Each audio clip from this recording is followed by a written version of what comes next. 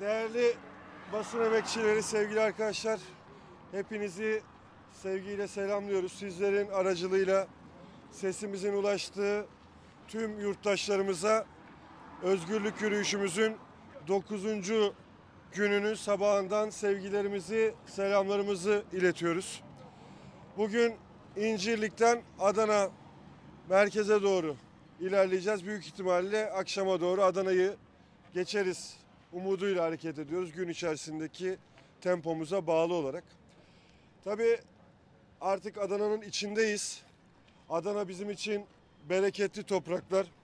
Adana bizim için emeğin, alın terinin önemli merkezlerinden bir tanesi. Türkiye'de geçmişe baktığımızda tarımın en önemli merkezlerinden bir tanesi ama siyasi iktidarın ısrarla ve inatla yok etmeye çalıştığı, insanları geleceksizliğe, işsizliğe mahkum etmeye çalıştığı çok güvendiğimiz, yiğit insanı bol, direngen insanı bol, mücadeleci insanı bol, bu memleketin aydınlık ve özgürlük mücadelesine büyük katkılar yapabileceğine inandığımız emekçileriyle tarihte olduğu gibi Türkiye'nin geleceğinde de yer bulacak önemli bir şehrimiz. Gün boyu Adana'da yurttaşlarımızla sohbet edeceğiz, muhabbet edeceğiz, dertleşeceğiz.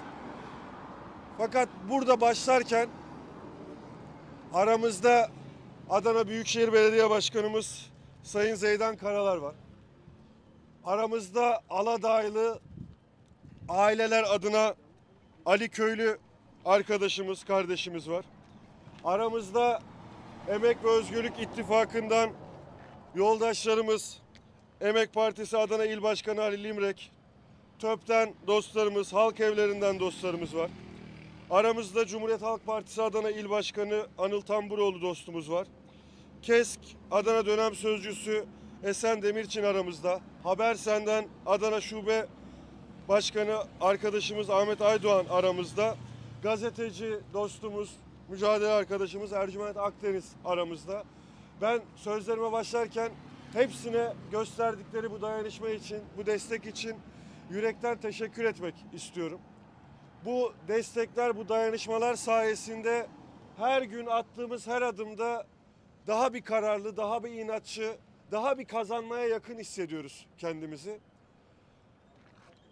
Can Atalay'ın özgürlüğü için başladığımız Gezi davası tutsaklarına haksız, hukuksuz verilen cezalara karşı özgürlük talebiyle başladığımız, bu ülkede iktidarın baskı altına aldığı herkes için, ülkemiz için özgürlük talebiyle başladığımız bu yürüyüşün her etabında bir konuyu özel olarak kamuoyunun gündemine taşımaya, unutturmamaya, hafızaları diri tutmaya çalışıyorduk. Adana dendiğinde Can Atalay ismiyle yan yana geldiğinde maalesef bizim aklımıza Aladağ'da yitirdiğimiz gencecik kardeşlerimiz, kız çocuklarımız geliyor.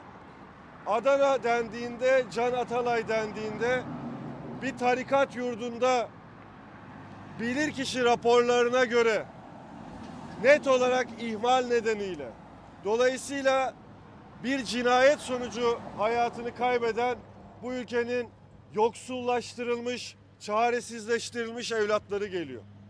Aladağ dendiğinde bizim aklımıza her ne yaparlarsa yapsınlar iktidar tarafından sırtları sıvanıp hayatlarına aynı biçimde devam eden tarikatlar ama bunun karşısına dikildiği için suçlanan, bunun karşısına dikildiği için iktidar tarafından düşmanlaştırılan insanlar geliyor.